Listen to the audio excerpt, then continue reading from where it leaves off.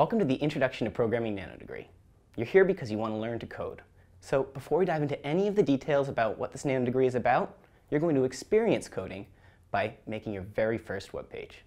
Follow the instructions that come up on the screen.